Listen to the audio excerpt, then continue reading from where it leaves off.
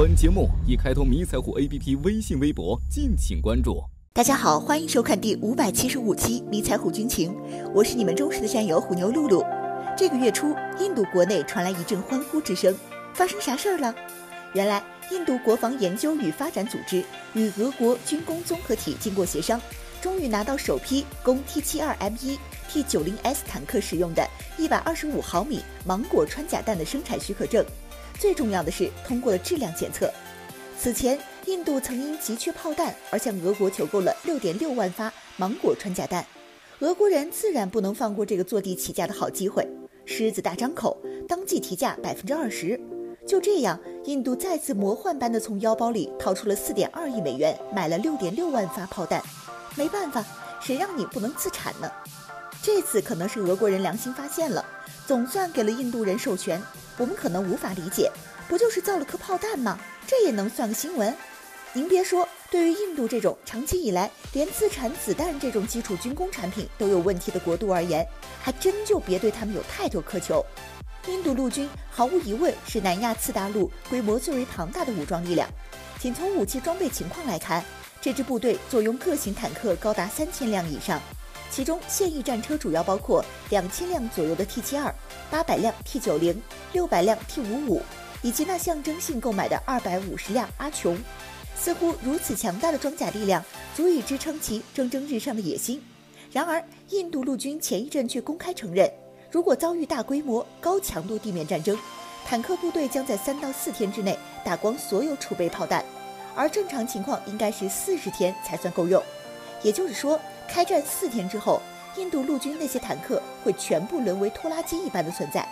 不对，应该说还不如拖拉机。拖拉机至少比坦克省油。三天意味着什么？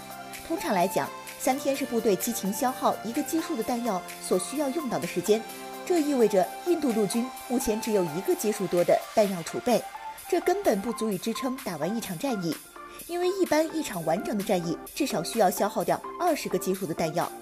滑稽的是，在一九九九年印巴之间爆发的卡尔吉尔冲突当中，印度军队仰仗自己的数量优势，毫不吝啬地将炮弹倾泻出去，而且每天都能发射六千发。可是，在发射完二十五万发炮弹之后，竟然发现没炮弹了。那赶紧从后方运啊！不好意思，库存也没了。现在全国弹药告急，正想办法满世界求购呢，估计又免不了挨一顿宰了。一场战役还没打完，就打空了全国储备。不得不说，印度这个还真有点快了。除了弹药储备仅够支撑四天这种数量问题以外，还存在陆军所需的一百七十种弹药中缺乏一百二十五种的情况。刚刚在前面说了，印度就连子弹都不能完全自产。就更别提技术含量以及制造难度更大的炮弹了。当然，心比天高的印度人倒也是试着仿制过俄系一百二十五毫米口径穿甲弹，然而质量却非常感人。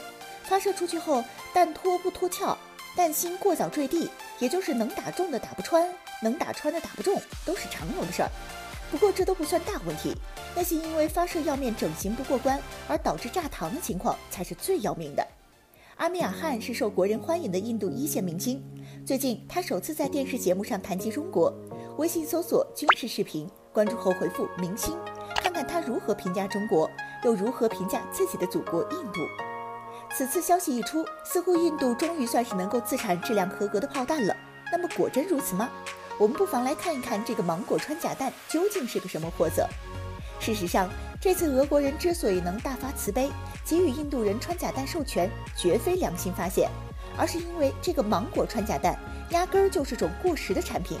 其采用的是已经严重落伍的两节式设计，弹芯由两个串联的钨合金棒组成。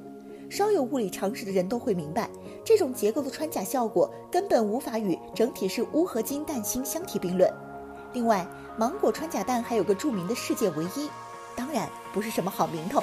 要知道，穿甲弹的速度都非常高，往往能够在爆炸反应装甲进行反应之前就将其穿透并击穿装甲。而芒果穿甲弹却是世界上唯一一种能够被爆炸反应装甲干扰拦截的尾翼稳定脱壳穿甲弹。在战场上已经发生过多起芒果穿甲弹被第一代爆炸反应装甲消耗掉的情况，这就意味着芒果穿甲弹的穿身仅仅只有四百五十毫米而已。在面对它可能遭遇到的对手哈利德。T80UD，甚至是披挂了焊接装甲壳体以及反应装甲的魔改版五九阿扎拉主战坦克都会力不从心。而后者还拥有高达六百五十毫米穿身的高性能一百二十五毫米口径穿甲弹，以及更为先进的火控系统。也就是说，印度 T 九零可能还真打不过深度定制版的五对负重轮。再来波福利，推荐一个好玩的三 D 坦克射击游戏。游戏还原真实坦克数据，操作简单易上手，画质精美，令人震撼，打击感爆棚，还可实现五 v 五等多人同屏即时在线对战。请打开手机应用市场，搜索“迷彩虎”，下载我们的官方 APP，体验手机上的次世代坦克争霸战。